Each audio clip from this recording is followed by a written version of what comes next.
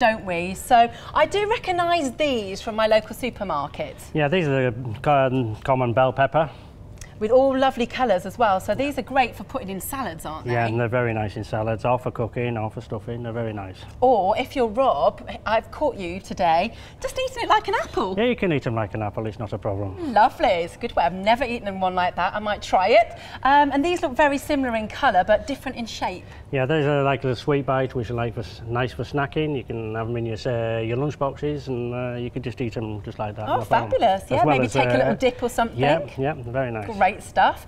You wouldn't want to eat these though, no, would no, you? No, no, you wouldn't want to eat those. No, so these chili are peppers. Chili peppers. Okay, so would these sort of be used to sort of spice things up, maybe curries or something? Yeah, yeah, yeah, yeah. You would normally use them in curries or uh, uh, things like that. You wouldn't really want to eat them raw. Right, okay note taken. I'm not going to ever eat one of those raw. And then these look like big giant chili peppers, these, but I'm guessing they're not as hot. No, these are like Italian sweet pointed peppers. Uh, they're uh, very nice and sweet, and you can use these also as in salads, or you can cook them, and you can or you can stuff them.